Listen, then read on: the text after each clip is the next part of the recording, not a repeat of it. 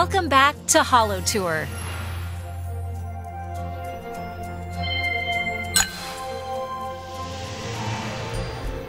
Where would you like to go? On this tour, we'll go trekking high in the Andes and visit Machu Picchu.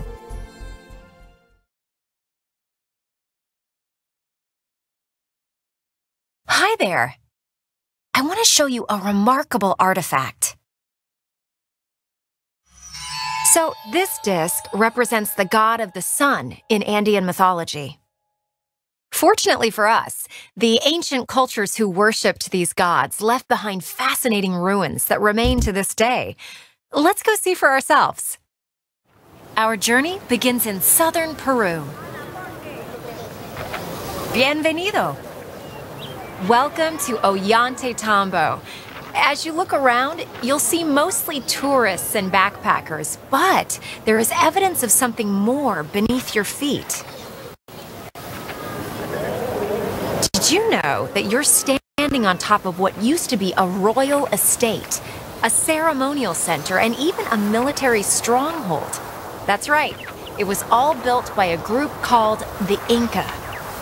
Five centuries ago, their vast empire stretched for thousands of miles along the Andes Mountains. But in the year 1537, this valley was the battleground for one of the last valiant stands of the Inca people.